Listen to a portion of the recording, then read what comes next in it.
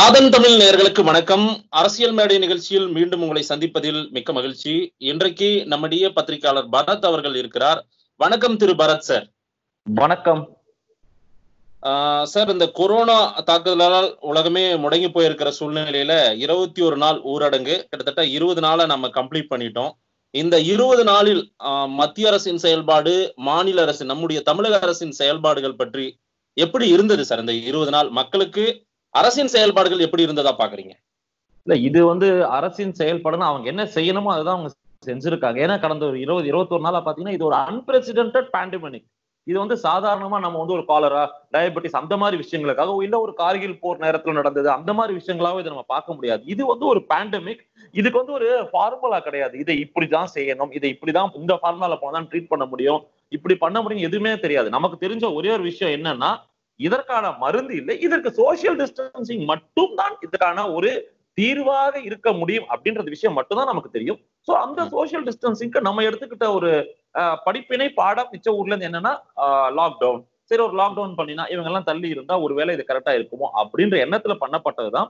சரி எந்த ஒரு விஷயமுமே பண்ணும்போது சில பல டிஃபிகல்டிஸ் இருக்கலாம். உடனடியா ஒரு லாக்டவுன் அந்த உடனடி லாக்டவுன் இப்போ கமலஹாசன் சொன்ன மாதிரி நீ பிளான் பண்ணிட்டு லாக்டவுன் பண்ணணுமா அப்படின்னா பிளான் பண்ணிட்டு பண்றது பேர் லாக்டவுனே கிடையாது. சரி நீங்க இம்மீடியட்டா பண்றதுதான் லாக்டவுன் ஏன்னா ஒரு சோசியல் டிஸ்டன்சிங் வரணும்னா பண்ணி ஆகணும் அதற்கு அரசு தரப்பு என்னென்ன செஞ்சிருக்காங்க? என்னென்ன பண்ணிருக்காங்க? லாக்டவுன் பிளான் பண்ணி பண்ணணும்னு திரு கமலஹாசன் சொல்றது எப்படின்னா இப்ப சிங்கப்பூர்ல ஏழாம் தேதி லாக்டவுன் பண்றோம்னா ரெண்டாம் தேதியே அறிவிக்கப்பட்டது. முன்கூட்டியா நாலு நாள்ல அலர்ட் ஆயிக்கிறாங்க மக்கள். தயவு செஞ்சு சிங்கப்பூரோட இந்தியாவை கம்பேர் பண்ணாதீங்க. இந்தியால நூத்தி முப்பது கோடி நூத்தி முப்பத்தி ரெண்டு கோடி ஜனத்தொகை. நம்மளோட அந்த லேண்ட்ஸ்கேப் அது எப்படி டிவைட் ஆயிருக்கு? லிட்ரேட்ஸ் எவ்வளவு படிப்பறிவு இல்லாதவர்கள் எவ்வளவு அது எங்க போய் ரீச் ஆகணும் கவர்மெண்ட் ஏஜென்சிஸ் எவ்வளவு தூரம் பெனிட்ரேஷன் நிறைய யாட்சிக்கு இருக்கு. மொத்தமா போ பொத்தாம் பொதுவா நம்ம வந்து சிங்கப்பூரோட இந்தியாவை கம்பேர் பண்ணிட்டு உடனடியா அவங்க சொல்லிட்டாங்கன்னு சொல்ல முடியாது. எடுத்துக்காட்டா நாம வந்து இந்த லாக்டவுன்ல செயல்பட்டிருக்கோம் பிரதமர் மோடியே சொல்லியிருக்காரு சார். அப்படி இருக்கும்போது சிங்கப்பூரோட நம்ம இதை அமெரிக்காவோட எப்படி அது வாதத்துக்கே எடுத்துக்க முடியாத ஒரு வார்த்தையா இருக்கு சார். இல்ல வாதத்துக்கு கூட எடுத்துக்க முடியாத வார்த்தைனா இது ரொம்ப அழகா அவங்க கொண்டு வந்ததோட இல்லாம அது சப்ஜிக்வெண்டா நீங்க பாத்தீங்கன்னா இருபது இருபத்தஞ்சு வீடியோ கான்பரன்சிங்ல ஒவ்வொரு துறையை சார்ந்தவர்கள் பல்வேறு துறையை சார்ந்தவர்கள் chief ministers IAS officers health officials எல்லாரோடையும் வந்து ஒரு எதிர்க்கட்சிகளோட எல்லாரோடையும் கலந்து பேசி நரேந்திர மோடி வந்து ஒரு ஒரு ஒரு ஒரு இன்க்ளூசிவ் பாலிடிக்ஸ் இதுல பண்ணிட்டு வராரு. ரெண்டாவது ஒவ்வொரு ஸ்டேட் கவர்மெண்ட்ஸும் பாத்தீங்கன்னா அவங்க ஏஜென்சிஸை முடுக்கி விட்டு அவங்க அவங்களால முடிஞ்ச அளவுக்கு சோசியல் செக்யூரிட்டி கெடாத வகையில் என்ன பண்ண முடியுமோ எல்லா ஸ்டேட்ஸும் பண்ணிட்டு தான் இருக்காங்க. சோ இந்த ஒரு வார ஃபைட் பண்ணிட்டு இருக்கிற இந்த நேரத்துல நீ பண்ண அந்த வார் டெக்னிக் கரெக்டா இது கொரில்லா வார்ஃபேரா இது அப்படி பண்ணலாமா? இப்படி பண்ணலாமான்றது கொஸ்டினே எனக்கு ஆச்சரியமா இருக்கு. பட் என்னை பொறுத்தவரை இந்த இருபத்தி ஒரு நாட்கள் அவங்க நினைச்ச ரிசல்ட் கிட்டத்தட்ட ஏன்னா நீங்க அந்த டபிள்யூஹெச்ஓ ஆகட்டும் இல்ல ஐசிஎம்ஆர் ஆகட்டும் திரு இப்பவும் நாங்க உங்களோட தான் பயணிக்கிறோம். திரு பிரதமர் மோடி அவர்களோட தான் நாங்க பயணிக்கிறோம். உங்க வழியில தான் நாங்க பயணிக்க போறோம்னு அவருடைய கடிதத்துல தெளிவா எழுதியிருக்காரு. ஒரு விஷயம் புரிஞ்சு கைத்தட்டதும் விளக்கேற்ற நம்ம வந்து எண்ணெயே இல்ல. நம்ம அடுத்த வேளை சாப்பாட்டுக்கு எண்ணெய் இல்லாத நிலையில தான் நாம இருக்கோன்றத சுட்டி காட்ட வேண்டிய கட்டாயத்துல திரு கமலஹாசன் இருந்திருக்காரு பதிவிட்டு இருக்காரு அவ்வளவுதான். வேற ஒண்ணும் கிடையாது. இல்ல கமல்ஹாசனோட புரிதல் எவ்வளவு இதுன்னு பாருங்க. யாரையுமே நீ வந்து கண்டிப்பா பண்ணிதான் ஆகணும். நீ நாளைக்கு விளக்கேத்தலனா நாளைக்கு உனக்கு வந்து சோறு கடை கொடுக்க மாட்டோம். நான் உங்களுக்கு ரேஷன் பொருள் தர மாட்டோம் எந்த இடத்துலயும் சொல்லவே இல்லை. இது ஜஸ்ட் சிம்பாலிக் கெஸ்டர் அந்த சிம்பாலிக் கெஸ்டர் கூட நான் வந்து நீ பங்கெடுத்துக்காத. இல்ல என்ன விட்டுடு ஆனா அதுக்காக எல்லாம் அப்படியே வந்து சாப்பிடாம இருந்துட்டாங்க கஷ்டப்படுத்தி எல்லா சுச்சுவேஷன் டிஃபிகல்டிஸ் இருக்கும்போது அதை அட்ரஸ் பண்றதுக்கு என்ன பண்ண முடியுமோ ஏஜென்சிஸ் ஆர் டூயிங் இட் இருபது நாளா மக்கள் ஊரடங்குக்கு ஆதரவு தெரிவிச்சாங்க. எல்லாருமே வீடுகள்ல இருந்தாங்க. அதுவும் உலக நாடுகள் பாராட்டுற அளவுக்கு எடுத்துக்காட்டா இந்த இந்தியா வந்து ஊரடங்குல செயல்பட்டு கொண்டு இருக்கிறது பிரதமரே சொன்னாரு அரசு. என்ன செய்தது மக்கள்? அப்படின்ற ஒரு குற்றச்சாட்டு ஒரு பார்வை இருக்குல்ல சார். ஏன்னா மைக்ரண்ட் ஒர்க்கர்ஸ் எல்லாருமே நடந்து வந்த காட்சிகளை பார்த்தோம். கோயம்பேடுல இருந்து ஒன்றரை லட்சம் பேர் கிளம்பி வந்தது. இதற்கெல்லாம் ஒரு கால அவகாசம் கொடுக்கலன்ற ஒரு பார்வை மத்திய அரசின் செயல்பாடுகள் மாநில அரசின் செயல்பாடுகள் அரசு வேகமா துரிதமா மக்களை வந்து அலைக்கழிக்க விட்டாங்க அப்படின்ற ஒரு பார்வை இருந்தது இல்ல இல்ல இது இது ஒரு தவறான பார்வை தான் நான் பாக்குறேன் எந்த இடத்துலயுமே மைக்ரண்ட் லேபர்ஸ் நீ போயிடு நான் உன்னை பாத்துக்க மாட்டேன் எனக்கு தேவையில்லை அப்படின்ற சொல்லவே இல்லை. இப்போ மகாராஷ்டிராவை சேர்ந்த மைக்ரண்ட் லேபர்ஸ் இங்க ஒரு ஆயிரம் பேர் இருக்காங்களா? ம- மகாராஷ்டிரா அரசு தமிழக அரசு பேசி அவங்களுடைய என்ன பண்ணணும் எப்படி பாத்துக்கிறீங்க அதற்கான செலவை கூட நாங்க ஏத்துக்கிறோம்னு தான் சொல்லியிருந்தாங்க. தமிழ்நாட்டை சேர்ந்தவங்க அதே தான் அங்கேயும் பண்ணிருக்காங்க இந்த பேனிக் இருக்க தான் செய்யும். ஏன்னா இருபத்தோரு நாள் லாக்டவுன் போது தமிழ்நாட்டுல இருந்து இருபத்தி அந்த கோயம்பேட்டுல இருந்து பஸ்ஸஸ்ல ஓடினவங்க பாத்தீங்கன்னா நிறைய பேர் இருந்தாங்க. ஏன்னா சொந்த ஊர்களுக்கு போனோம் சொந்த ஊர்களுக்கு செய்யணும் பட் உங்களுக்கு இருந்த நேரங்கள் கம்மி நாட்கள் கம்மி.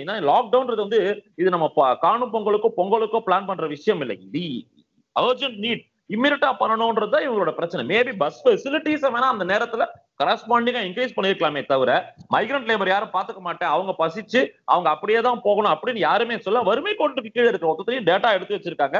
இப்ப அம்மா உணவகங்கள் மட்டும் இல்லாம நிறைய விஷயங்கள். இப்ப நம்மளே பார்த்திருக்கோம் கவர்மெண்ட் ஏஜென்சிஸ் எப்படி ஃபாஸ்டா ஒர்க் பண்றாங்க? பசி இருக்கக்கூடாது. சோறு அப்படின்றது யாரும் கையேந்தி நிற்கக்கூடாதுன்றது ரொம்ப தெளிவா இருக்காங்க. நம்ம இங்க ஆக்சிடென்ட் டெத்ஸ் எவ்வளவு குறைஞ்சதுன்னு கேள்விப்பட்டோமோ எப்படி நம்ம வந்து வேற ஒரு ஃபேட்டல் இன்ஜுரிஸ் ஃபேட்டலிட்டிஸ் இல்லைன்னு பாக்குறோம் அதே மாதிரியே கிட்டத்தட்ட ஒரு இருவேளை உணவாவது அவர்களுக்கு வழங்கப்படுவதில் ஆஹ், கண்டிப்பா இருக்கு. ஏன்னா இன்னைக்கு அந்த இதெல்லாம் செஞ்சாதான் இன்னைக்கு நம்ம உயிர் வாழ முடியும். இன்னைக்கு உயிர் வாழ்ந்தாதான் நாளைக்கு எக்கானாமிக் ப்ராஸ்பரிட்டி மத்ததெல்லாம் நம்ம அப்புறம் பாத்துக்கலாம் இந்த கவர்மெண்ட்டை பொறுத்த வரைக்கும் அவங்க வந்து அவங்க ஏஜென்சிஸ் எல்லாருமே கோஆர்டினேட் பண்ணி இந்த மாதிரியான ஒரு கிரேவ் சுச்சுவேஷன் அரசின் செயல்பாடுகள் நடந்தது அது யாரும் குறை சொல்லல. அரசோட ஒத்துழைச்சாங்க மக்கள் எல்லாருமே ஒத்துழைச்சாங்க அதெல்லாம் கிடையாது. அரசியல் அரசியல் கட்சிகளே எதிர்க்கட்சிகள் எல்லாருமே வந்து இதுல அரசியல் பண்ண விரும்பலன்னு குற்றச்சாட்டெல்லாம் குற்றச்சாட்டு வைக்க விரும்பலன்னு பேசினவங்க தான். ஒருபுறம். கமலஹாசன் லெட்டர் எழுதுனா கோவம் வருது அவர் விமர்சனம் பண்ணா கோவம் வருது. விமர்சனம் பண்ற அளவுக்கு இருக்கு செயல்பாடுன்றதுனாலதான் கமலஹாசன் விமர்சனம் பண்றாரு. கோவப்பட்டாங்க யார் கோவப்பட்டாங்க? சி அவர் அவருடைய கருத்தை சொன்னாரு. அதுக்கு எதிர்வினை என்னவோ அது அவங்க நிறைய பேர் எதிர்வினை சொன்னாங்க ஸ்டாலின் அவர்கள் குற்றச்சாட்டுக்கு அர- ஸ்டாலின் சந்தர்ப்பவாத அரசியல் பண்றாருன்னு திரு எடப்பாடி பழனிசாமி அவர்கள் குற்றச்சாட்டு அரசியல் சார்ந்த குற்றச்சாட்டுகள் அரசியல் சார்ந்த குற்றச்சாட்டுகள் அதாவது இப்போ என்னன்னா எதிர்க்கட்சிகள் இவங்க கூட்டம் கூட்டல அப்படின்றது முதல்லயே ஒன்று பேசுறாங்க. முதல்ல வந்து இந்த இந்த இடத்துல எங்களை கூட்டு பேசணும் நீங்க எக்ஸ்டெண்ட் பண்றீங்க அசம்பிளியர்னா ஸ்டாலின் நிறைய விஷயங்கள் பேசினாரு. அதற்கப்புறமா ஒரு ஸ்டேஜ்ல என்னாச்சு அவங்க அவங்கள கொடுக்குற நாங்க இவங்க இவங்கள பண்றேன்னு சொல்லி பேச ஆரம்பிச்சு ஸ்டேட் கவர்மெண்ட் ஏஜென்சியோட கோஆர்டினேட்டரா ஒர்க் பண்ணிட்டு இருக்கும்போது எங்க இருந்தோ திடீர்னு ஒரு புது விதமா எங்களை வந்து நீங்க இன்னைக்கு அந்த புரிதல் தான் சொல்றேன். இன்னைக்கு ஒரு புரிதல் பாருங்க. தன்னார்வ நிறுவனங்களை சேர்க்கறதுல இது இல்ல அதை பண்றதுல நீங்க மட்டும் பண்ண பாக்குறீங்க இது எங்கேருந்து இந்த வார்த்தை வந்தது?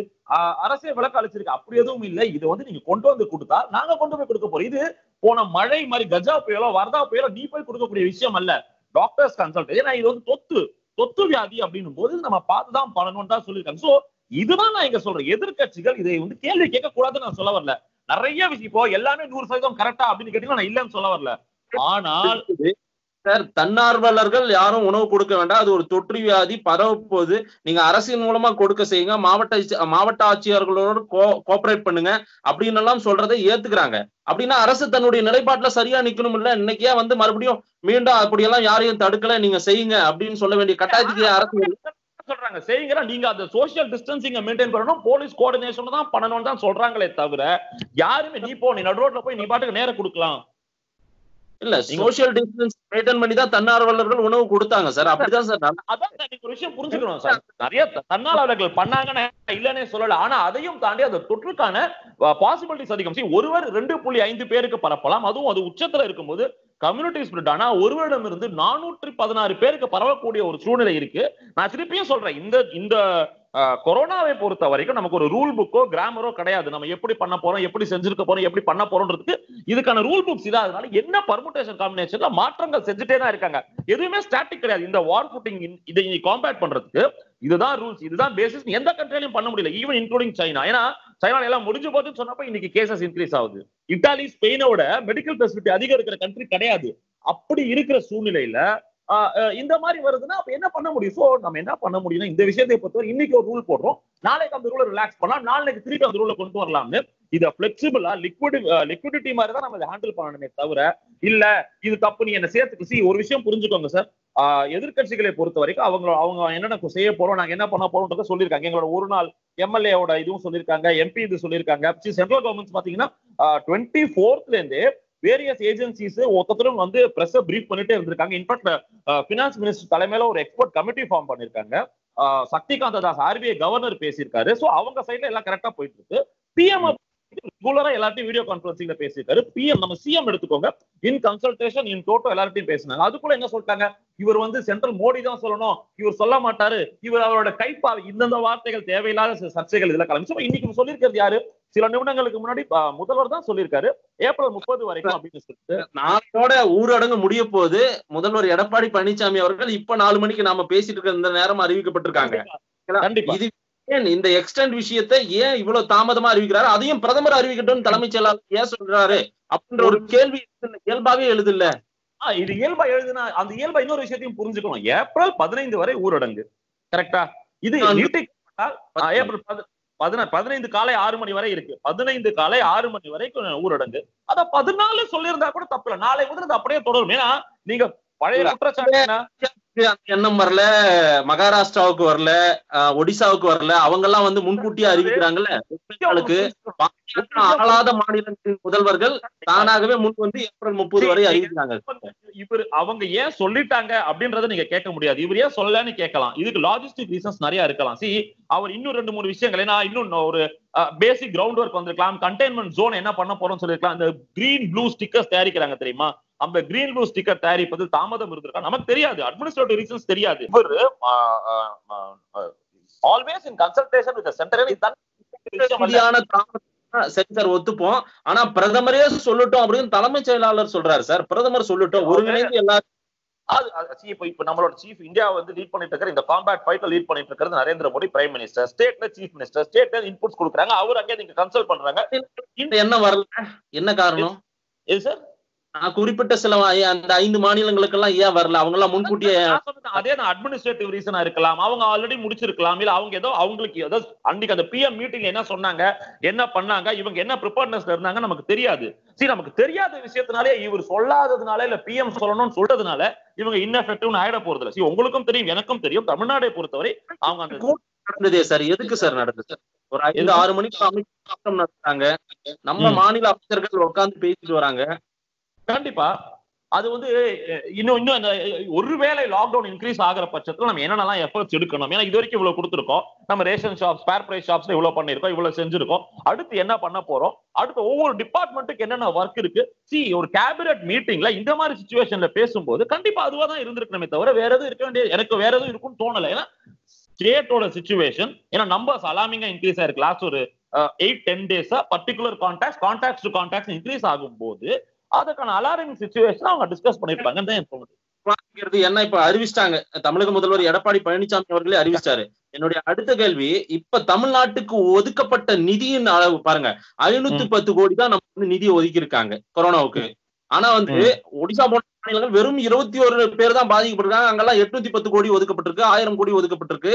இதையெல்லாம் ஏன் மத்திய அரசு கிட்ட கேட்டு பெறலன்றதான் ஒரு விஷயம் நல்லா புரிஞ்சுக்கோங்க. நீங்க இந்த ஐநூத்தி பத்து அவர் வந்து அதுல பட்டியலிட்டு காட்டு.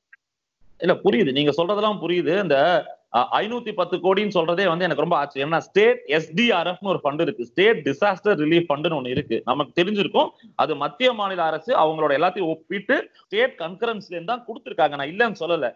பட் என்னை பொறுத்தவரை allocations will be made at regular intervals நீங்க ஒரு- ஒரு ஒரு இந்தியா பிரியம் அப்படின்னு வரும்போது இவ்வளவுக்கு இவ்வளவுதான். நான் பிஜேபி ஆளு இது நம்ம தான் வந்து அரசியல் பார்வையோட இதை பாக்குறோமோ அப்படின்னு எனக்கு தோணுது. ஏன்னா தமிழ்நாட்டை பொறுத்தவரை அவங்க கேட்டிருக்காங்க. கண்டிப்பா அதற்கான அலோகேஷன்ஸ் வரும். ஏன்னா விட்டுற போறது இல்ல தமிழ்நாடு? ஆ, விட்டுருங்க இவ்வளவுதான்ப்பா. ஏன்னா இங்கதான் number of cases are also increase இவ்வளவுதான் விட்டுருங்க. பண்ண மாட்டோம்னு கிடையாது. மாநிலங்கள் ஆயிரம் கோடி ஆயிரத்தி அறுநூறு கோடி எட்நூறு கோடி தொள்ளாயிரம் கோடி ஒதுக்கப்பட்டு தமிழ்நாட்டுல அதிக பாதிப்பு இன்னைக்கு ஆயிரத்துக்கு மேல தொற்று இருக்குது அவங்க அறிவிச்ச போது அறுநூறு மேல நம்ம வந்து பயணிச்சுட்டு இருந்தோம். அந்த லெவலுக்கு முன்னேறிட்டு இருந்தோம். தமிழ்நாடு கவர்மெண்ட் ஒதுக்கப்பட்டிருக்குன்றது விவாத பொருள் ஆகும் சார் கட்டாயம். நான் ஒரு விஷயம் சொல்றேனே விஷயம் முடிஞ்சிட போறது இல்ல லாக்டவுன் முடிஞ்சு இன்னைக்கு வந்து இருபது இருபது நாள் தான் ஆகுது. இருபத்தோராவது நாள் போயிட்டு இருக்கோம் இப்ப நமக்கு எக்ஸ்ட்ரா கிட்ஸ் நம்ம கேட்டிருக்கோம். நம்மளே நம்மளே அசம்பிளிலேயே சிஎம்ஏ அறுபது கோடி தான் முதல்ல அறிவிச்சாரு இதுக்கு. ஒரு விஷயம் புரிஞ்சுக்கோங்க. நான் சொல்றேங்க ஒரு மூன்று நான்கு நாட்களா ரேபிட் கிட் இன்னைக்கு வரும் நாளைக்கு வரும்னு சொல்றாங்க. ரேபிட் கிட் எங்க வந்துச்சு? அப்படின்ற ஒரு கேள்வி இருக்கு. இந்தியா ஆர்டர் பிளேஸ் பண்ணிருக்கோம் டெல்லி அதாவது இப்ப நம்மளே படிச்சோம் நிறைய இடத்துல. இப்போ வந்து மேலை நாடுகள்ல மிக முக்கியமான சில கண்ட்ரிஸ் வந்து அதை அவங்க டைவர்ட் பண்ணி எடுத்துக்கிறாங்க. அது சர்ச்சைகள் இருக்கு. சைனாலே நாங்க போச்சுலாம் படிச்சோம். டெல்லியில வந்து ரீச் ஆகும்போது இவங்க ப்ராமிஸ் பண்ணிக்கிற கிட்டு தமிழ்நாட்டுக்கு இவ்வளவு கிட்டுன்னு சென்டர் ப்ராமிஸ் பண்ணிருக்கல. கண்டிப்பா கொடுக்க போறாங்க ஒரு விஷயம் நீங்க புரிஞ்சுக்கோங்க. நம்ம என்ன போர்ட்ரே பண்ண பாக்குறோம்னா ஒரு சைடு என்ன போர்ட்ரே பண்ண பாக்குறோம்னா சென்டர்ல இருந்து எல்லா பெனிஃபிட்டும் வாங்குறதுக்காக சென்டருக்கு ரொம்ப பேலி பேலியா இருக்கு. இந்த ஸ்டேட் கவர்மெண்ட் சொல்றோம் நம்மளே ஒரு சைடு வந்து சென்டர் வந்து ஸ்டேட்டை வஞ்சிச்சிருச்சு. இவங்களுக்கு நிதி ஆதாரம் கொடுக்கல. இவங்களை ஒதுக்கிட்டு வச்சு நம்மளே அந்த கன்ஃபியூஷனுக்கு போக வேண்டாமே. ரெண்டு எக்ஸ்ட்ரீம் பேசுறோம்? போயிடுச்சுன்னு இல்ல சார். ரேபிட் கிட் மூன்று நாட்கள் நான்கு. நாட்களுக்கு வரல. நல்லா புரிஞ்சுக்கோங்க. இப்ப இந்த லாக்டவுன் இருக்கிற பட்சத்துல தான் நம்ம அதிக டெஸ்டிங் பண்ண முடியும். நம்ம இப்ப லாக்டவுன் ஓபன் பண்ணிட்டு எக்ஸ்ட்ரா டெஸ்டிங் பண்ண முடியாது. ஒரு நாளைக்கு பண்ணுது. அதிகபட்சம் ஒன்பதாயிரம் டெஸ்ட்டுக்கு மேலதான் பண்றோம் நம்ம பெரும்பாலான பண்றோம். ரேபிட் கிட் வந்திருந்தா இன்னும் வேகமா துரிதமா செய்ய ரேபிட் கிட் கூட நம்ம அந்த ஆன்டிபாடிஸை தான் செக் பண்ண முடியுமே தவிர அது பிசிஆர் டெஸ்ட் மாதிரி ஃபுல் பிளேஜா இருக்குமான்னு தெரியாது. பட் ஓகே நமக்கு அந்த சாம்பிளிங்க்கு நமக்கு தேவைப்படும். இல்லை நான் சொல்ல பட் கண்டிப்பாக இந்தியாவுக்கு அந்த கிட் வர பட்சத்துல தமிழ்நாட்டுக்கு தேவையான குவான்டிட்டிஸ் நிச்சயமாக வரும். அதுல எந்த டவுட்டுமே கிடையாது. நீங்க ஒரு மெடிக்கல் எமர்ஜென்சியில் நம்ம இருக்கும்போது ஈக்குவட்டபிள் டிஸ்ட்ரிபியூஷன் கண்டிப்பாக இருக்கும். தமிழ்நாட்டை பொறுத்தவரை நம்மளோட துர்பாகியம் என்னன்னா கிட்டத்தட்ட ஆயிரத்தை தாண்டி நம்ம இன்னைக்கு மூன்றாவது வேகமான ஒரு மாநிலமா கிட்டத்தட்ட போயிட்டு இருக்கிற இந்த சூழ்நிலையில ஒரு பயம் இருக்கத்தான் செய்யும் அச்சம் இருக்கத்தான் செய்யும். பட் அதுக்காக சென்டர் வந்து கையை கட்டிட்டு வேடிட்டு பார்க்கும் அப்படின்னு நம்ம நினைச்சோம்னா அது நம்மளோட அறியாமையா தான் இருக்கு. ஒரு எமர்ஜென்சி சுச்சுவேஷன்ல கண்டிப்பா செய்யும். நம்ம சிறப்பா செயல்பட்டிருக்கோம் அப்படின்னா இப்ப மேலும் பத்து பதினஞ்சு நாட்கள் அதிகப்படியா நம்ம டேட்டை எக்ஸ்டெண்ட் பண்ணிருக்காங்கன்னா நம்ம வந்து அப்போ அந்த டேட் எக்ஸ்டெண்ட் என்ன காரணம்? நான் திருப்பி சொன்னேனே. சி இது இது வந்து எப்படி என்றால் இதை நம்ம இப்போ இது வரைக்கும் வந்து ஸ்டேஜ் டூல தான் இருக்குன்னு சீஃப் செக்ரட்டரியும் சொல்லியிருக்காரு நம்ம ஹெல்த் செக்ரட்டரி சொல்லியிருக்காங்க. சிஎம்ஏ வந்து தேர்ட் ஸ்டேஜ் போயிடக்கூடாதுன்ற ஃபீலிங்ல சொன்னாங்க. தேர்ட் ஸ்டேஜ்ன்றது கம்யூனல் ஸ்பிரிட்டா வரும்போது அது வந்து one is to four not six four sixteen வரைக்கும் போகும் நம்மளே பேசினோம். ஸோ இந்த சூழ்நிலையில அடுத்து ஒரு பதினாலு நாள் லாக்டவுன் வரும்போது இவங்க நிறைய வந்து கண்டெய்ன்மெண்ட் ஜோன்ஸ் பண்ணிட்டாங்க. அதுக்கெல்லாம் வந்து இந்த இன்குபேஷன் பீரியட் வந்து fourteen to twenty eight days அதை தனியா கொண்டு போய் வச்சிருக்காங்க. ரெண்டாவது அதிக டெஸ்ட் நீங்க சொன்னீங்க இல்லையா அந்த ரேபிட் கிட் வர பட்சத்துல இன்னும் அதிகப்படியான டெஸ்ட்டுகளை நம்ம எடுத்து பண்ணும்போது என்ன ஆகும்? டெஸ்ட்டுகளை நம்ம அதிக டெஸ்ட் எடுத்து செய்யும் போது இன்னும் கொஞ்சம் நம்ம யார் positive cases all positive cases need not be fatal நம்ம பார்த்துருப்போம் இந்த கொரோனாவை பொறுத்தவரை பத்து பர்சன்ட் கிட்டத்தட்ட எட்டு பர்சன்ட் ஆறு பர்சன்ட் தான் extreme critical stage in India so அந்த எக்ஸ்ட்ரா பண்ணும்போது நம்ம இன்னும் கொஞ்சம் ஸ்டேஜ் அடுத்த ஸ்டேஜ் போகாம இருக்க எக்ஸ்ட்ரா நம்ம அந்த கம்யூனிட்டியில செக் பண்றதுக்கு டைம் வேணும். ரெண்டாவது சோஷியல் டிஸ்டன்சிங் மெயின்டைன் பண்றதுனால இன்னும் கொஞ்சம் அந்த கர்வை ஃபிளாட்டன் பண்ணலாம். இப்போ பத்து வந்து நம்ம நமக்கே தெரியும். கடந்த பதினைந்து நாட்கள்ல வந்து தமிழ்நாட்டுல எவ்வளவு சரன் மேல போச்சுன்றது. சோ அந்த கர்வ் ஃபிளாட்டனிங்க்கு நம்ம கான்டாக்ட் டு கான்டாக்ட் ஐடென்டிஃபை பண்ணிட்டோம் ஏன்னா இது வந்து கம்யூனிட்டி ஸ்ப்ரெட் பட்சத்துல contact to contact to contact பண்ணிட்டா இந்த பதினாலு நாட்கள் இன்குபேஷனையும் அவங்கள குவாரண்டைன் பண்றதுக்கும் எக்ஸ்ட்ரா டெஸ்ட் பண்றதுக்கும் இவங்களுக்கு கண்டிப்பாக தேவைப்படும். ஏன்னா இன்னைக்கு திறந்து விட்டோம் என்றால் அந்த சோஷியல் டிஸ்டன்சிங் போயிடுச்சுன்னா நம்ம திருப்பி இது வந்து அந்த கட்டுக்குள்ள கொண்டு வரது ரொம்ப கஷ்டம். அதை நம்மளே சொல்லல. ஐசிஎம்ஆ டபிள்யூஹெச்ஓலே சொல்லியிருக்காங்க. சோ இந்த fourteen days period is very very crucial very essential நான் பாக்குறேன் சார் இந்த பதினான்கு நாட்கள் அதாவது சாரி இந்த இருபத்தி ஒரு நாட்கள் ஊரடங்க பொறுத்தவரையில இது வந்து சிறப்பாக தான் அரசு கையாண்டு இருக்குது அங்க ஒன்று அங்க ஒன்றும் இங்க ஒன்றும் குறைகள் இருந்திருக்கலாம் நீங்க பதிவிடுறீங்க. சார் மீதி அடுத்து இருக்கிற ப- பதினாலு நாள் கிட்ட நமக்கு வந்து லாக்டவுன் எக்ஸ்டெண்ட் பண்ணிட்டாங்க. என்ன செய்ய போகுது சார் அரசு? அதாவது வீட்ல எல்லாம் முடங்கி இருக்க போறாங்க. அரசின் செயல்பாடு என்னவா இருக்க போகுது? மக்களுக்கு என்ன சார் செய்ய போறாங்க? சார் அதாவது ரெண்டு விஷயமா இதை நம்ம பார்க்கணும் சார். இருக்கு சார் அரசாங்கம் என்ன பண்ண போகுது சார் நம்ம இந்த ரெண்டு விஷயமா பார்க்கணும். லாங் டேர்ம் ஷார்ட் டேர்ம் அப்படின்ற ரெண்டை பார்க்கணும். இதுல இந்த ஷார்ட் டேர்ம் தான் ரொம்ப இம்பார்ட்டன்ட் ஏன்னா அதான் இம்மிடியட் நெசசிட்டி ஏன்னா நம்ம லாங் டேர்ம் போக முடியாது. இது பதினாலு நாட்களுக்கான லாக்டவுன் ஸோ அப்போ இந்த ஷார்ட் டேர்ம்ல என்ன பண்ணுவாங்கன்னா இது வரைக்கும் வீடு வரைக்கும் வந்து கொண்டிருந்த அந்த ரேஷன் பொருட்கள் ஆகட்டும் உன்னோட மினிமம் கேரண்டீடு சர்வைவலுக்கான விஷயங்கள் இப்ப என்ன பண்ணிட்டு இருக்காங்களோ அது அடுத்த பதினாலு நாட்களுக்கு தொடரும். நிச்சயமாக தொடரும். அதுல எந்த விதமான டவுட்டும் இல்ல. இந்த இப்போ இன்னைக்கு சொன்னாங்க இல்லையா அந்த தன்னார்வு அண்ட் அது அதனோட என்னென்ன பண்ண முடியுமோ அது இதே ட்ரை டு ரீச் அவுட் யாரும் பசியோட இருக்கிற விஷயம் வேண்டாம். பசியை அகற்றுவதற்கு என்ன பண்ணணும்? அதுக்கான ஸ்கீம்ஸை கொண்டு வருவாங்க. நீங்க மீறி இந்த இந்த எக்கானமியாகவும் இந்த ஜன்தன் விஷயமாகவும் இல்ல இந்த மாதிரியான எக்கானமிக் விஷயங்கள்லாம் நமக்கு டைம் இருக்கு. பதினாலு நாள் வெயிட் பண்ணுவோம். இன்னைக்கு நம்ம சர்வே பண்ணணும். இன்னைக்கு இந்த கொஸ்டின் இஸ் பரத்தும் மாதேஷும் நாளைக்கு இருந்து வேலைக்கு வரணும்னா நாளைக்கு வேலை செய்யணும்னா இன்னைக்கு உயிரோட இருக்கணும். அதற்கான சர்வேலுக்கு என்ன பண்ண முடியும்? சின்ன சின்ன ப்ரொவிஷன்ஸ் பாக்கெட்ஸ்ல கொடுக்கறது உங்க வீட்டுக்கு கொண்டு வந்து சேர்க்கறது நான் சொல்றது மைக்ரோ லெவல்ல நான் மேக்ரோ லெவல்ல கூட போல. மேக்ரோ லெவல்ல விட்டுருங்க. மைக்ரோ லெவல்ல உங்க தெருவுல உங்க வீட்டுக்கிட்ட கிருமி நாசினி தெளிப்பது. வரக்கூடிய பதினாலு நாட்களுக்கு பொருளாதார ரீதியா எதுவும் பண்ண முடியாது. அது வாய்ப்பு இல்லை. நம்ம உயிரை காப்பாத்திக்கிறதுக்கு வழி தேடிக்கலாம். அவ்வளவுதான். அப்படின்றீங்க. அதாவது நீங்க வந்து அது உடனே பொருளாதார ரீதியா பொருளாதாரமும் சின்ன சின்ன நான் மைக்ரோ லெவல் பொருளாதார ரிஃபார்ம்ஸ் இருக்கும்னு சொல்ல வரேன். மைக்ரோ லெவல் நான் மேக்ரோ லெவல்ல சொல்ல ஒரு அடுத்த ஆறு மாசத்துக்கு உனக்கு வந்து லோன்ஸ் வைவர் நீ லோன் பண்ண போற? சார் என்ன பண்ண போறாங்க சார்? என்ன என்னை பொறுத்தவரை இப்ப என்ன பண்ணிட்டு இருந்தாங்க? லாஸ்ட் இருபத்தொரு நாள் லாக்டவுன்ல எனக்கு தெரிஞ்சு என்ன வாச்சோ அது கிட்டத்தட்ட கண்டினியூ ஆகும். மேலும் டோல்ஸ் வேணா கொடுக்கலாம். அடுத்த மாசம் ஏன்னா இந்த மாசம் யாருக்கு எம்ப்ளாய்மெண்ட் இல்ல. அடுத்த மாசம் திருப்பி அவங்க போகும்போது இந்த மாசம் யாரு இல்ல சார் இஎம்ஐ போன்ற விஷயங்கள் ஆர்பிஐ சொல்லியும் சில நிறைய தனியார் வங்கிகள் எடுக்கப்பட்டிருக்கிறது. சரிங்களா? இதெல்லாம் வந்து இதை வந்து அரசாங்கத்தின் பார்வைக்கு அரசாங்கத்தின் செவிகளுக்கு இதை கொண்டு போய் சேர்த்தும் அதுக்கு வழி இல்ல சார். மூன்று மாத இஎம்ஐ வந்து கண்டிப்பா. சொல்லும் கேட்கல சார் தனியார் வங்கிகள். ஒரு விஷயம் நல்லா புரிஞ்சுக்கோங்களேன். நிறைய லேக்குனா இருக்கும் ஊர் கூடி தேர் இழுக்கும் போது அங்கொன்னு இங்கொன்னு நம்மளே சொன்னோம். ஊர் கூடி தேர் இழுக்கும் போது அங்கொன்னு இங்கோன்னு சில கிரிட்டிக்கல் டிஃபிகல்டிஸ் இருக்கதான் செய்ய போகுது. பட் என்னை பொறுத்தவரை இதெல்லாம் வந்து நம்ம ஓவர் கம் பண்ணலாம். என்னன்னா இப்ப நான் சொன்ன மாதிரி இந்த சர்வேகளை தாண்டி உயிர் முக்கியம் உயிர் வெள்ளம். அது மனித குலம் இருந்தாதான் நம்ம அடுத்த கட்டத்துக்கான எக்கானமியை நம்ம ஊருக்குடி தேர்தெடுக்கிறத நம்ம என்ன பண்ண போறோமோ செய்ய போறோம். அதற்கான சர்வைவலுக்கான எல்லா விஷயங்களையும் இந்த அரசு ரெண்டு அரசுமே செய்யணும். அது அரசின் கடமை. நம்ம வந்து அது செய்வாங்களா மாட்டாங்கன்றதை தாண்டி நம்ம தைரியமா சொல்ல அரசின் கடமை செய்ய வேண்டியது அவர்களுடைய நிதர்சன உண்மை அவங்க தான் பண்ண போறாங்க அதை நம்ம செய்வாங்க.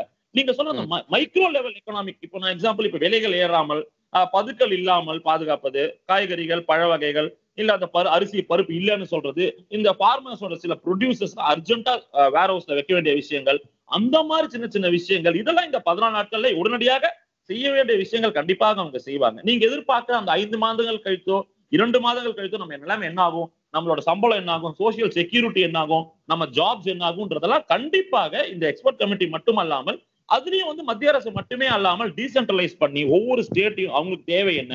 ஏன்னா differs from state to state இப்போ நம்ம இந்த லாக்டவுனே பார்த்தோம். சில ஸ்டேட் ரொம்ப சீக்கிரம் போட்டாங்க சில ஸ்டேட் இன்னும் போல நமக்கு அப்புறம் சொல்லாம கூட சில ஸ்டேட் கம்முன்னு இருக்காங்க. பிஎம்ஏ சொல்லட்டோன்ற மாதிரிலாம் ஸோ இது எல்லா விஷயமே மாற்றங்கள் இருக்கும்போது டீசென்ட்ரலைஸ் பண்ணி ஒவ்வொரு ஸ்டேட்டையும் அக்கௌண்ட்ல எடுத்துக்கிட்டு சென்டர் இதை பண்ணணும். பட் இந்த விஷயத்தை பொறுத்து இதுவரை இருபத்தொரு நாட்கள் சரியா செஞ்சுட்டு வந்தவங்க அடுத்த பதினாலு நாட்கள் கண்டிப்பாக சரியா செய்வாங்க.